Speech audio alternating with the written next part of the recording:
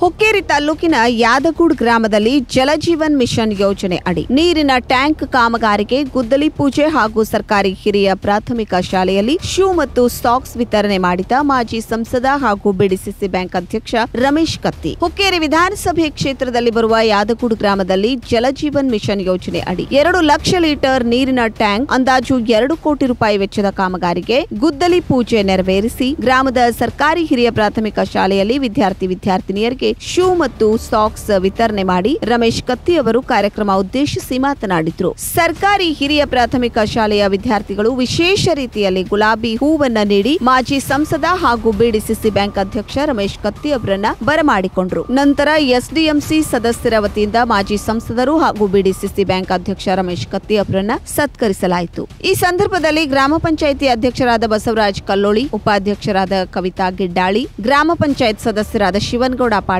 Mallappa ವಾಲ್ಕಿ, Mallu Bennoli, PKPS ಅಧ್ಯಕ್ಷರಾದ ಅಲ್ಗೌಡ ಪಾಟೀಲ್, ಮಹಾದೇವ್ ಜನ್ಮಟ್ಟಿ ರಾಮಣ್ಣ ಜನ್ಮಟ್ಟಿ ಮಾಜಿ ಗ್ರಾಮ ಪಂಚಾಯತ್ ಅಧ್ಯಕ್ಷರಾದ ದಯಾನಂದ ಜನ್ಮಟ್ಟಿ ಕೆಆರ್ ಪಾಟೀಲ್, ದುಂಡಪ್ಪ ಮೋಳ್ಗಿ, ಕಿರಣ್ ರಾಶಿಂಗೆ, ನಿಂಗಪ್ಪ ಪೂಜಾರಿ, ಎಸ್ಡಿಎಂಸಿ ಅಧ್ಯಕ್ಷರು, ಸದಸ್ಯರು, ಗ್ರಾಮ ಪಂಚಾಯಿತಿಯ ಸರ್ವ ಸದಸ್ಯರು, ಅಧಿಕಾರಿಗಳು ಸೇರಿದಂತೆ ಗ್ರಾಮಸ್ಥರು ಉಪಸ್ಥಿತರಿದ್ದರು.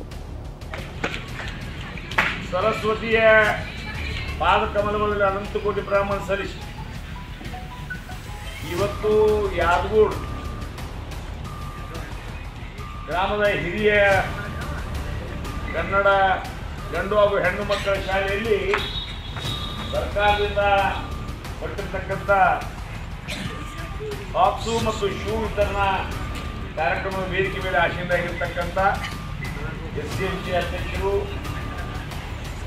ಆಡಳಿತ ಎಸ್ ಡಿ ಎಂ ಸಿ ಸಮಾಜದ ಎಲ್ಲ ಸದಸ್ಯರು ಗ್ರಾಮ ಪಂಚಾಯತ್ ಅಧ್ಯಕ್ಷರು, ಗ್ರಾಮ ಪಂಚಾಯತ್ ಯಾವತ್ತು ಸದಸ್ಯರು, ಗ್ರಾಮದ ಯಾವತ್ತು ಗುರು ಹಿರಿಯರು, ತಾಯಂದಿರು, ಸಹೋದರ ಸ್ನೇಹಿತರು, ಯುವಕ ಮಿತ್ರರು ತಮ್ಮೆಲ್ಲರಿಗೆ ಶರಣಾರ್ಥಿ ಭಾರತ ಸರ್ಕಾರ ಎರಡು ಸಾವಿರದ ಹನ್ನೊಂದರಲ್ಲಿ ರೈಟ್ ಎಜುಕೇಷನ್ ಆ್ಯಕ್ಟನ್ನು ತರುವುದು ಮುಖಾಂತರ ಆರು ವರ್ಷದಿಂದ ಹದಿನಾಲ್ಕು ವರ್ಷದ ಮಕ್ಕಳಿಗೆ ಉಚಿತವಾಗಿರ್ತಕ್ಕಂಥ ಶಿಕ್ಷಣವನ್ನು ಕೊಡಬೇಕು ಅನ್ನುವಂಥ ಒಂದು ಕಾಯ್ದೆಯನ್ನು ಜಾರಿಗೆ ತರುವುದ್ರ ಮುಖಾಂತರ ಅದರ ಅಡಿಯಲ್ಲಿ ಒಂದು ದಿವಸ ತಮಗೆಲ್ಲ ಉಚಿತವಾಗಿರ್ತಕ್ಕಂಥ ಶಿಕ್ಷಣ, ಜೊತೆಗೆ ಬಿಸಿ ಊಟ ಪಠ್ಯ ಪುಸ್ತಕ ಶೂ ಮತ್ತು ಸಾಕ್ಸು ಸೈಕಲ್ಲು ಮಧ್ಯಾಹ್ನ ಊಟ, ಅಲ್ಲಿ ತರ್ತರವಾಗಿರ್ತಕ್ಕಂಥ ಪೌಷ್ಟಿಕ ಆಹಾರದ ಊಟ ಇವೆಲ್ಲಗಳನ್ನು ಕೊಡ್ತಾ ಇದ್ದಾರೆ. ಇವೆಲ್ಲಗಳನ್ನು ಕೊಡುವಂಥ ಸಂದರ್ಭದಲ್ಲಿ ಪಾಲಕರು ಅರ್ಥ ಮಾಡ್ಕೊಳ್ಬೇಕು. ನಮ್ಮ ಮಕ್ಕಳು ಬರುವಂಥ ನಿರ್ಮಾಣದಲ್ಲಿ ಶಿಕ್ಷಣವಂತರಾಗಬೇಕು. ಯಾಕಂದ್ರೆ ಈಗ ಭಾಳ ಜಾತಿ ಇದಾವೆ ಈಗ. ಗೊತ್ತಾವ್ರು ಈಗ ಒಂದು ಹದಿನೈದು ಜಾತಿ ಇದಾವೆ ದಯವಿಟ್ಟು ಇಲ್ಲಿ ಮ್ಯಾಲ ಬರೀತೈತಿ ಲಿಂಗಾಯತ್ ಐತಿ ಕುರುಬ ಐತಿ ಮುಸಲ್ಮಾನ್? ಎಸ್. ಸಿ ಐತಿ. ಕಂಬಾರದವರು ಕುಂಬಾರದವರು ಕುಂಬಾರದಾರು ಮಡಿವಾಡದಾರು ಅದಾವ ಆದ್ರೆ ಬರುವಂತ ದಿನಮಾನದಾಗ ಇಲ್ಲಿ ಎರಡೇ ಜಾತಿ ಉಳಿತಾವ. ಒಂದು ಅಶಿಕ್ಷಿತ, ಒಂದು ಸುಶಿಕ್ಷಿತ. ಸುಶಿಕ್ಷಿತ ಯಾರಂದ್ರಿ? ಅವ್ರು ನಿಮ್ಮ ಮನ್ಯಾಗನು ಮಾನ, ಊರಾಗ ಮಾನ ದೇಶದಾಗೂ ಮಾನ. ಅಶಿಕ್ಷಿತ ಯಾರದ್ರಿ?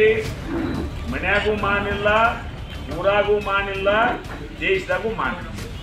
ಅಂದ್ರೆ ಸಾಲಿ ಕಲ್ತಿಲ್ಲಪ್ಪ ನಾ ಅಂತಂದ್ರೆ ನಿಮ್ಮ ಜೋಡಿ ಯಾವ ಮಾತಾಡಕ್ ಬರ್ಬೋದ ನಾ ಏನು ಸಾಲಿ ಕಲ್ತಿಲ್ಲ ಅಂದ್ರಿ, ನಿಮ್ಮನ್ನು ಯಾರು ಮಾತಾಡ್ಸಂಗಿ ಸಾಲಿ ಕಲ್ತ ನಾ ಕಲ್ತನ ಸಾಲಿ ಕಲ್ತವನಂದ್ರಿ ಬಂದು ನಿಮ್ಮ ಬಾಜು ಕೂತು ಮಾತಾಡ್ತೀನಿ. ಯೋಜನೆದಾಗ ಯೋಜನೆದಾಗ ಟಾಕಿ ಮಂಜೂರಾಗಿಟ್ಟು ಅದು ಪೂಜಾ ಮಾಡಿ, ಈ ಯಾದಗೂಡದಾಗ ಎಲ್ಲ ಊರಿಗೆ ಕಂದು ಮಣಿ ಕಂದು ಗುಡಿ ಗುಂಡಾರ ಸಾಯಿ, ಅಂಗನವಾಡಿ, ಏನು ಬಿಡದ ಎಲ್ಲ ಊರಿಗೆ ಇವತ್ತು ನೀರನ್ನು ಕೊಡುವಂಥ ವ್ಯವಸ್ಥೆನೂ ಸಹಿತ ಉಮೇಶ್ ಕರ್ಜಿ ಅವರು ಮಾಡ್ಯಾರ ಮಾತನ್ನು ಹೇಳಿ ಈ ಜನರಿಗೆ ಜೀವನ ವಿತರಣೆ ಮಾಡಿ ಮುಂದೆ ನಾವು ತಿರ್ಗಂತೀವಿ. ನಮ್ಮ ನಾ ಕಾರ್ಯಕ್ರಮಕ್ಕೆ ಕರೆದ ಅವಕಾಶ ಕೊಟ್ಟಂತ ಎಲ್ರಿಗೂ ಒಂದಿಷ್ಟು ಎರಡು ಮಾತನ್ನು